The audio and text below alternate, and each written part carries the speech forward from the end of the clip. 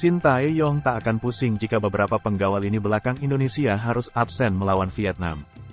Tim Garuda dijadwalkan menjamu Vietnam pada Kamis, tanggal 21 Maret tahun 2024, lalu gantian melawat ke Hanoi lima hari kemudian. Dua laga tersebut merupakan duel penting dalam perlombaan menjadi runner-up grup F kualifikasi Piala Dunia 2026. Bolanas.com akan menganalisis empat lini skuad Indonesia untuk menghadapi dua partai tersebut. Sebelumnya, sektor kiper dianggap sebagai area terlemah lantaran nihilnya pemain naturalisasi. Sebaliknya, sektor belakang bisa dianggap sebagai lini terkuat berkat banyaknya pilihan lokal dan blasteran. Shin Tae-yong sebelumnya mengandalkan Jordi Amat sebagai pemimpin dalam skema tiga back tengah.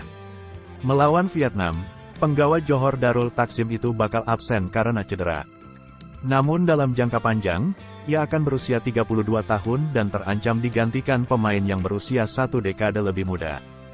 Jay Izes patut menjadi pemimpin baru, lantaran usianya baru 23 tahun dan merumput di level paling tinggi, seri B bersama Venezia. Izes akan memperkuat lini yang sudah cukup solid dengan Justin Hubner, Elkan Bakngot, hingga Nathan Chuaon.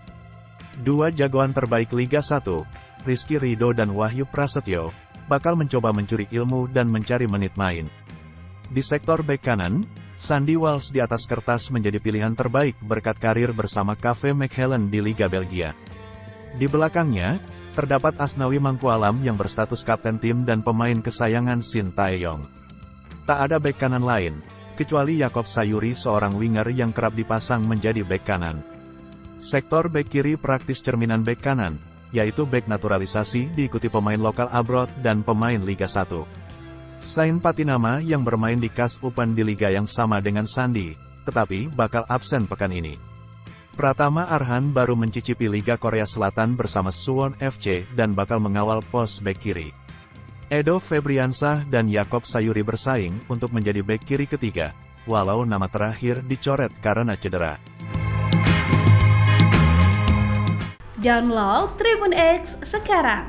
Menghadirkan lokal menjadi Indonesia.